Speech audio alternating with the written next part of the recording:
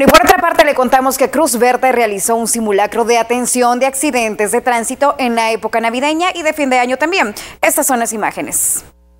de tránsito por dos personas lesionadas.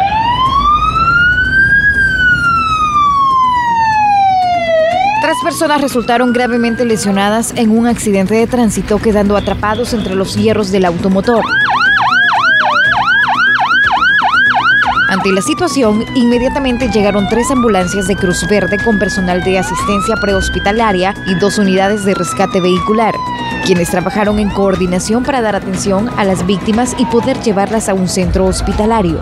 Bueno, prácticamente aquí estamos viendo la capacidad que tenemos como, como rescatistas. Sabemos de que estamos en una situación bien crítica de muchos accidentes de tránsito donde se ve la necesidad de ocupar equipo de estricación o que sea equipo hidráulico y ahí es donde estamos midiendo la capacidad de nuestro personal rescatista que estará destacado en las diferentes carreteras. Este simulacro se realiza para mostrar cómo Cruz Verde salvadoreña trabajará en la temporada navideña y de fin de año, que además desplegarán a nivel nacional 800 elementos entre doctores, paramédicos, rescatistas, socorristas y a su vez habrá 35 unidades entre ambulancias y vehículos de rescate para la reacción inmediata. Vamos a tener destacadas las diferentes especialidades como la unidad de rescate vehicular, la unidad de rescate vertical, pues de igual manera los señores guardavidas en las diferentes playas, balnearios y lagos que existen.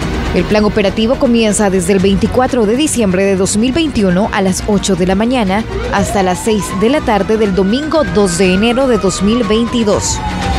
Para Noticias 4 Visión, María José Ulloa.